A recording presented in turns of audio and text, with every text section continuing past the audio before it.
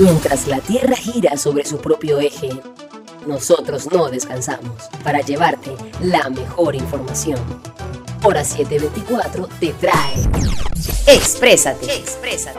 El espacio que te conecta con tus personajes favoritos, que te ayuda a entender cómo marcha el mundo y su dinámica social. Exprésate con Angie María Vázquez. ¿Qué tal amigos? Empezamos esta primera temporada de Exprésate a través del portal web 724 y no podía ser sino con un personaje con el que nos reímos mucho, pero del que pocos saben. Un hombre que empezó siendo muy nuestro, muy de aquí de Barranquilla, pero luego llegó a convertirse en un hombre de Colombia, nada más y nada menos nos acompaña hoy desde nuestro portal web 724, Joselo de Muchas Colombia. Ah, Muchas gracias, Dios te bendiga. amén, amén, amén. Qué rico tenerte aquí después de tantos años, ¿ah? Sí, claro, de verdad encantado de estar aquí. Después de tantos años estabas pipiolita. Total. Ya yo tenía mis años, ya. Yo no me cocino con dos latas de agua, como dicen por ahí, pero tú estabas pipiolita. Ay, pero no, no, no digamos tanto porque yo no estoy tan vieja. Puede ser. No, no, no, no, tú, tú, ¿qué? Unos añitos. yo estaba bebé, casi que gestación. Claro, claro. Más no te habías desarrollado cuando ya estabas. No, nada, por eso te digo, estaba ya. Sí, sí, sí, totalmente. Todavía era el esperma de mi, de mi papá. Apenas estaba, se asomaba y entraba, se asomaba y... Totalmente. Bueno, nosotros queremos empezar este programa contigo, Joselo, con siete cosas que nadie sabe de Joselo y que nosotros en nuestro equipo 724, con Erika Chávez, Eduardo Hoyos, se encargaron de investigar.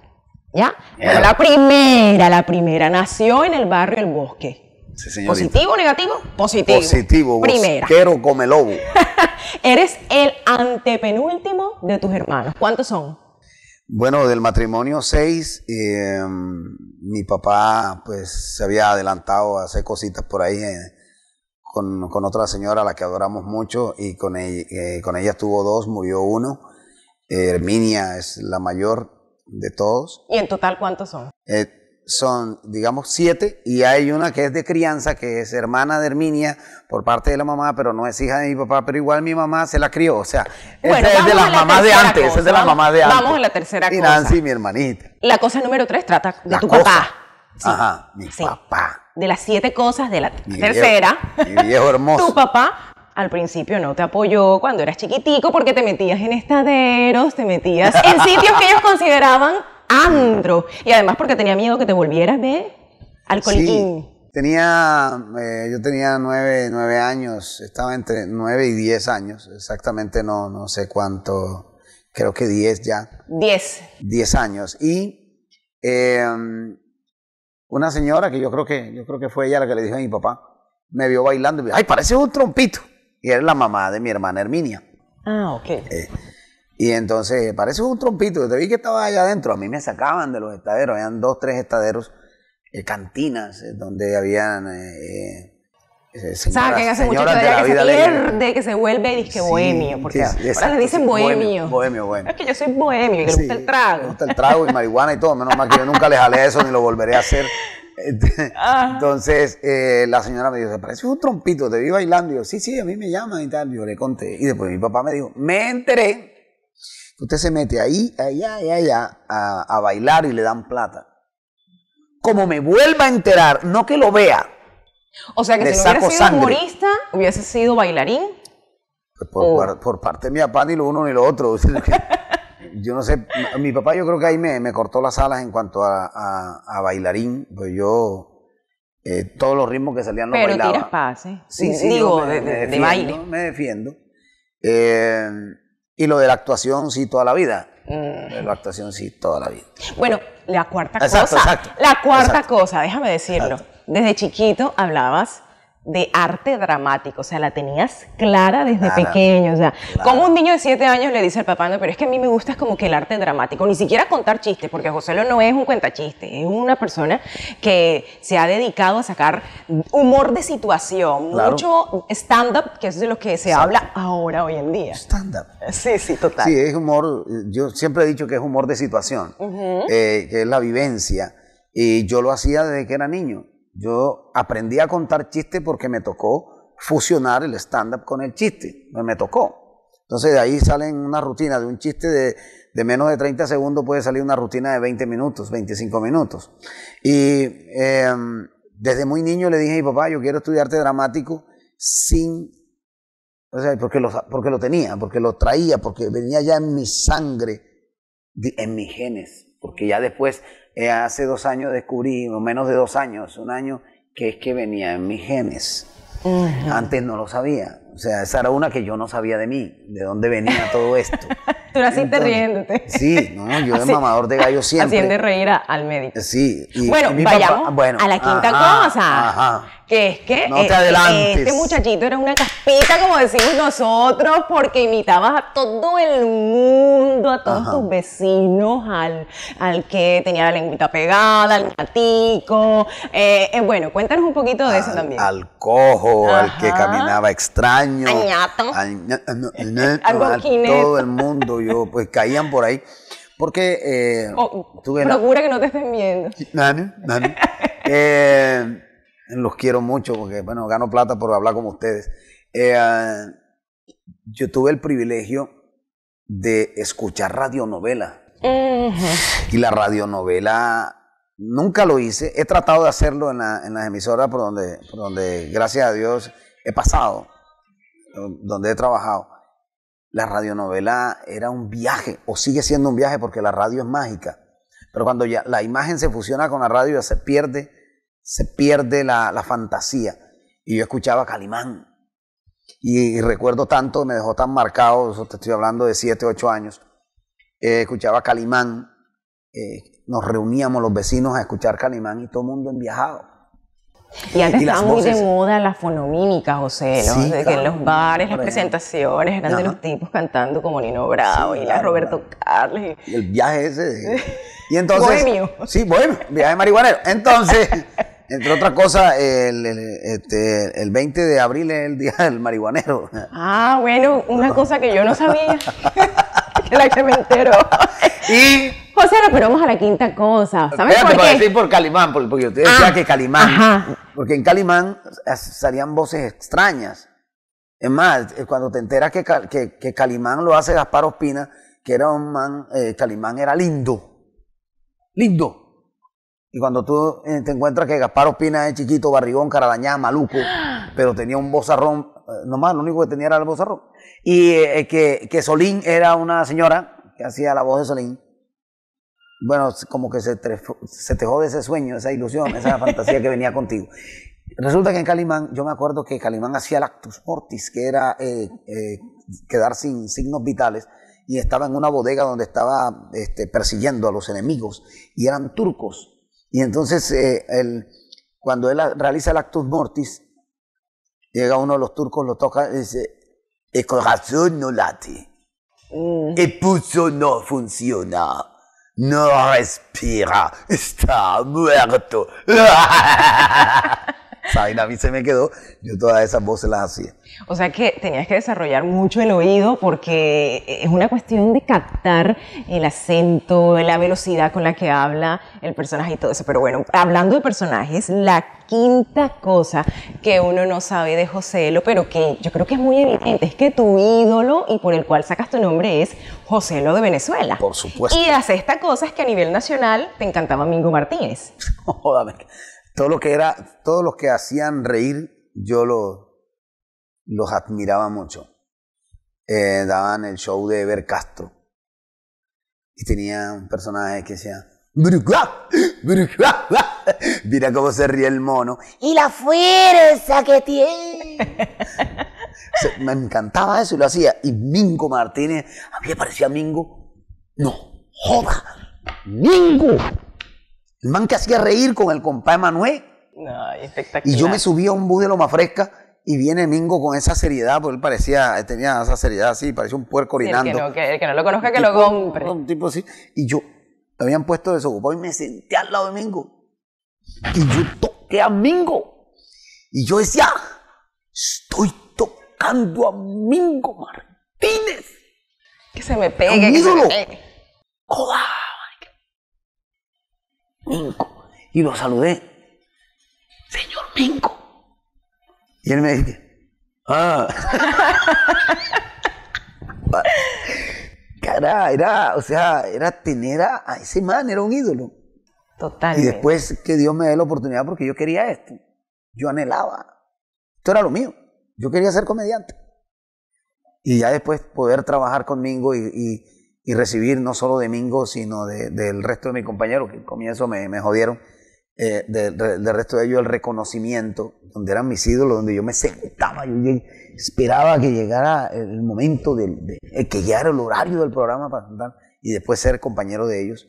Eso fue fascinante. Estamos hablando de Chéverísimo. Chéverísimo. De Chéverísimo. Todavía vamos- vamos por millennials que no alcanzaron, Erika no alcanzó a conocer Chéverísimo, sí. Sí, no, viste, ni siquiera. Más, yo me inicié en Sabro Show con. Puedo decirlo ya. Claro. Pues no, porque de pronto viene la pregunta más adelante. Sí, no, Ah, ya. bueno. Y la última cosa, no, si es contigo, mejor Tiene que ver eso, ¿sabes? Porque, porque que- a veces, tú no sabes que yo, yo, em, yo debí estudiar comunicación social. No, tú eres comunicador Ya, ya, yo soy innato, comunicador, yo soy innato, comunicador. totalmente. Resulta que yo, eh, a mí me estaba haciendo una, una muchacha me estaba haciendo una entrevista. Y, Y empezó, Y hola, ella- buenas, y tú, sí, y- bueno, ya, hasta aquí terminamos. Ya, y yo- gracias por y de pronto ella coge y me hace la pregunta yo, ya eso te lo respondí más atrás. Bueno, mira, la séptima cosa, pero no menos importante, ya que el número siete eh, también es de suerte, Sí. es que siempre procuras llevar un mensaje cristiano Claro. a través del humor. Claro que sí. Y no es mentira. Claro, en medio de esa mamadera de gallo, yo dejo la píldora, porque la palabra de Dios no regresa vacía. Y a veces es de doble filo.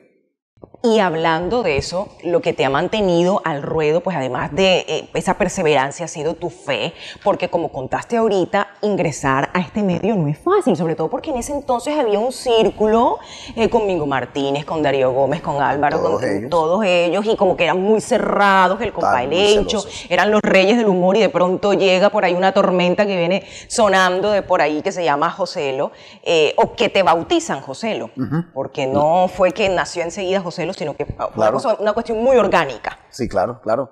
Eh, me bautizó Ley Martin, Sí. mi llave, quien me dio la oportunidad de estar en esto. ¿Fue quien te Eh, dio la primera oportunidad? Sí, claro. Él me dio la oportunidad de estar en esto. Eh, cuando yo llegué a hacer audición eh, y imité a, a Joselo, me dijo, tú eres Joselo, pero de Colombia. ya en mi casa a veces me decían Joselo porque yo venía mamando gallo con él. Yo ¿Cómo trabajaba te, en te gustaba Joselo de Venezuela? Me encantaba, me parecía genial ese man. Muy, muy bueno. Y yo trabajaba en compraventa y trabajé solo mucho tiempo. Y yo hacía libretos y llamaba a mis amigos, hey, pásate por acá para que almuerces conmigo, para mostrarte lo que estoy haciendo. Imagínate, yo gastaba el almuerzo y para que me escucharan lo que yo estaba haciendo, porque yo trabajaba solo, entonces hacía libretos. Tú comprabas tu audiencia. Yo compraba mi audiencia. Ya hoy me la gané, gracias a Dios. Pero era interesante todo eso, muy bacano. Entonces mis compañeros, lo que tú dices, de pronto yo sentía como lo manifestaron ellos, bueno, nosotros sentíamos paso de gigante y, y tratábamos de bloquearte. Yo le decía, yo no entiendo, yo no entiendo realmente. Porque cuando tú tienes un, tú, tú descubres que hay alguien que tiene talento para lo que sea, en todos los órdenes de la vida, tú lo quieres en tu equipo. Tú no le cierras la puerta. Voy a hacer que este man, este man es bueno, eche para acá. Pero a mí me cerraron las puertas. Pues, pues, yo digo que es el mismo propósito de Dios madurándolo a uno. Hoy y nunca, porque es que nunca sentí, eh, nunca sentí rabia, nunca tuve eh, un mal sentimiento. Y te bulinearon bastante, ¿no? Pero, pero coño, muchísimo. Y es más, Darío Gómez yo lo, lo, lo, lo quiero mucho, lo quiero mucho, lo recuerdo mucho y, y le agradezco. Darío me hizo, me hizo, Darí me hizo a mí maldad. Me- yo le decía, "Eche, tú me, tú me llamas para echarme, Darí. ¡Váyase! Hoy día Cristian Darío. Cristian Darío, su hijo, Sí. me maneja las redes sociales y tenemos Sí. una súper relación. De hecho, yo, yo lo quiero como si fuera mi sobrino, porque yo terminé siendo el hijo de Darío Gómez con, en, en- en Chéverísimo. En realidad te fortaleció el carácter, porque todo eso a veces no es bullying, Sí. sino servicio social. Yo le decía a Darío, cada vez que me echaba, pues me echaba. Y yo le decía, y cada vez que me llame, yo voy a venir, porque me va a llamar usted. Cada vez que me llame, yo voy a venir. Él era quien dirigía Chéverísimo en ese entonces. No, pero tenía, te- O sea, sí, influencia. Sí, tenía, sí, él tenía influencia y después fue, fue director, entonces podía hacer lo que le diera la gana. se me echó. Todas las veces que me echaba decía, y voy a venir porque usted me va a llamar. Y me llamaba. Y me echaba. Era bastante temperamental. O sea, yo le decía, es maldad lo que tú estás haciendo. Pero tú no sabes que lo que tú estás haciendo, para mí es interesante. Que me echen no me da nada. Y que me llamen me satisface. Porque es que tú, aun cuando seas grosero conmigo, nunca dejarás de ser mi ídolo. Ay, entonces ya enseguida lo descrestaba. Ya, de nuevo, te vente para acá, tranquilo. Y siempre fue así. Y el día que él me llamó, este, me dijo, yo soy terco. Además de terco, se ofendió, ¿no? No, no lo puedo decir aquí porque él decía que era un hijo. el pitico, por favor. Entonces, joda, yo, todo el mundo me dice que mi compañero tiene que ser tú porque ya no está Rafa. Y yo de terco, no joda, metiéndome contigo, donde entre otras cosas, tú que me has hecho a mí. Eche, marica, quererte admirarte. Entonces me dijo, vamos a trabajar, pero no me imite. No me imite. Yo, no, señor, lo voy a imitar. Porque yo soy el hijo suyo que usted una vez se comió a mi mamá y mi mamá se fue para Venezuela y ella quedó preñada, ya. Nada más fue un solo porrazo y Y salí yo igualito a ti.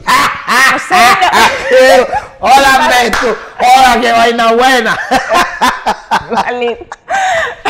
bueno, eso también es súper importante, el saber que, que a través de una persona que en principio tú pudiste haberte resentido por su comportamiento, llegó a ser a la postre de tu maestro. Claro. en realidad tú no te tomas en serio nada, José, ni siquiera los regaños y las echadas. No, no, sí, sí, claro, claro.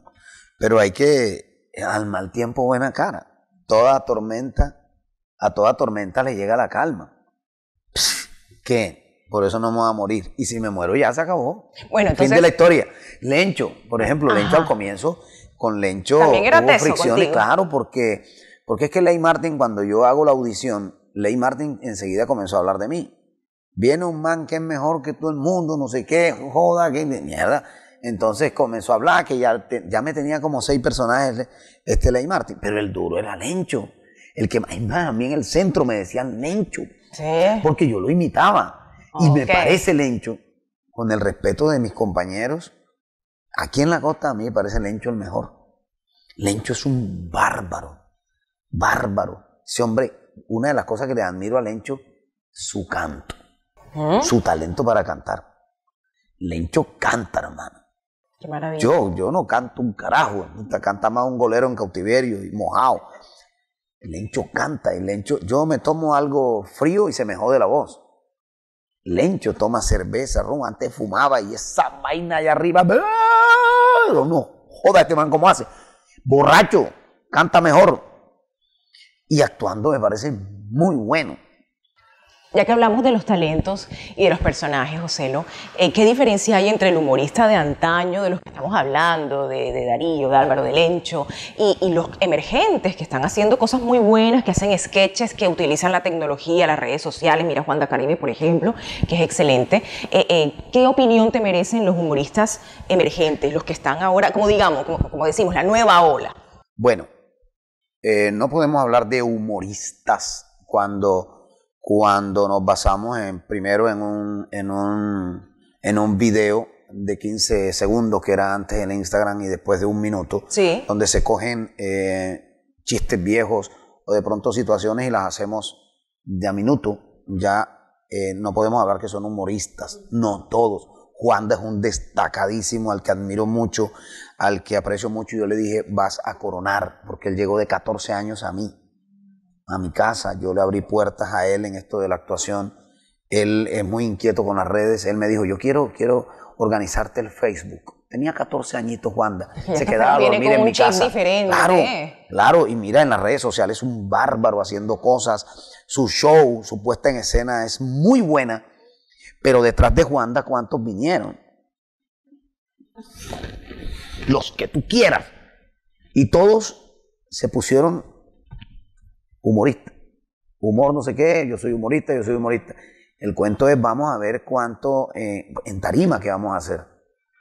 Vamos a ver con el público, no ahí con la cámara y los 15, el minuto ese en Instagram. Es por lo menos 15 minutos. Bueno, entonces ilústranos, porque yo creo que la pregunta correcta sería, entonces, ¿qué diferencia hay entre un humorista, un cuentachistes eh, y un comediante? y si en verdad las redes sociales ayudan en esto, si la tecnología puede ser utilizada favorablemente para eso. Sí ayuda, pero el, yo veo que el único que se ha destacado de todo esto, que sostiene un show de una hora, es Juanda. Los demás se fueron quedando, se fueron quedando, se fueron quedando, y ahí están tratando de hacer cosas. Si ellos, eh, si ellos, es que hay unos que no llegan, que no alcanzan, porque es que es que no te determina un, un, sketch de un minuto, no te determina que tú seas comediante. El comediante debe durar mínimo cuánto en escena. Ponle tú, ponle tú 10 minutos que esté, pero que se mantenga, que llegue con seguridad, que te haga reír. Y que mantenga un hilo conductor, porque esto es un arte también. Claro, claro, un hilo conductor. Pero no que llegue, por ejemplo, como sucedió, no, lógicamente no voy a dar nombres, se presentaron un poco los que estaban en las redes sociales. Unos este, por nervio comenzaron a tomar cuando llegaron a la, tarima, no sabían qué hacer. O sea, entonces recurren a, a la vulgaridad. Recurren a la vulgaridad. A ver, de pronto el chiste vulgar gusta a determinado público. Y tú terminas agarrándote del chiste vulgar cuando, cuando ves que el público no se ríe de lo que están haciendo. Entonces voy a buscar la manera a través de la vulgaridad de hacer reír. Pero vi que todos ellos, los que se presentaron, y no fue Juanda ese día, todos fracasaron. A todos los mandaron a bajar porque no hubo una preparación como tal. Yo, mi, mi inicio fue doloroso. A mí la desventaja mía es que yo no soy cuenta chiste. Y una vez a mí Mauricio Rieder me mandó a una tarima donde yo no sabía que iba a actuar. Y me manda a la tarima y yo cuento un chiste paisa. Y se me acerca un paisa y me dice, déjame contar un chiste, hombre. Y yo habla con Mauricio, con el mono, déjame contar vos un chiste, dame ese, dame ese micrófono. Yo no, yo no, no, o a mí me llamaron aquí, si, quieres, no hay problema. No, no, vos, vos, hombre, pásame ese, pásame ese micrófono y comienza esa semana a correrme la madre, a decirme de cuánta vaina, decirme, vos no sos humorista ni nada, un payaso hermano va ese ahí, marica va ese ahí. Y hasta una navaja me peló. Anda, Dios. Yo, señor, pero, señor, pero yo, yo, no me metió con usted. ¿Y qué? ¿Por qué? Y yo le dije a Mauricio, llama a la policía, yo no sé. Pero es que Mauricio me mandó a la, a la pero bacano, porque me, me, me, tiró ahí a la arena, defiéndate como, pues yo no soy cuenta chiste, yo no tenía nada preparado. Y es que el cuenta chistes, pues de pronto se puede aprender, uno que otro chascarrillo lo echa, tiene gracia, la gente se ríe, pero, pero lo que tú haces ya es sacar partido de la situación. De hecho, pues también investigamos un dato muy curioso, y es que tu primera presentación en público, estando muy pequeño, fue en un show del Día de la Madre, y te pusiste a llorar, mejor dicho. Eh, como un bebé, pero supiste sacarle partido a la situación. Desde ahí te das cuenta que lo que tú quieres hacer es valerte del contexto, de la cotidianidad, del diario vivir para, para, hacer humor. Claro, claro. Mientras la Tierra gira sobre su propio eje, nosotros no descansamos para llevarte la mejor información. Hora 724 te trae Exprésate. Exprésate. El espacio que te conecta con tus personajes favoritos, que te ayuda a entender cómo marcha el mundo y su dinámica social. Exprésate con Angie María Vázquez.